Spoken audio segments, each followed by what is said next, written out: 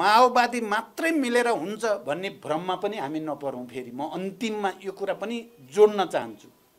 हामीले सबै सच्चा कम्युनिस्टहरूलाई एकीकृत र केन्द्रीकृत गर्नु छ जो माओवादीभन्दा बाहिर पनि छन्। बाहिरका सबै अवसरवादी मात्रै छन् भन्ने भ्रम पनि हामीले राख्न हुँदैन।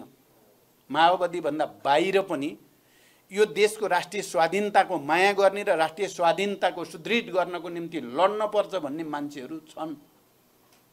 मार्क्सवादलाई नै अवलम्बन गर्नुपर्छ कम्युनिस्ट आन्दोलनलाई नै अगाडि बढाउनुपर्छ भन्ने हजारौँ हामीभन्दा बाहिर माओवादीभन्दा बाहिर पनि छन्। मैले अस्ति भर्खरै चाहिँ प्रतिनिधि सभाको चाहिँ रोस्टमबाट भनेको थिएँ एमाले भित्र पनि केपी ओली प्रवृत्ति नेतृत्वमा हुँदा धेरै ठुलो प्रतिगमन निरङ्कुशता जाने खतरा पैदा भयो हामीले विद्रोह गर्नु पर्यो।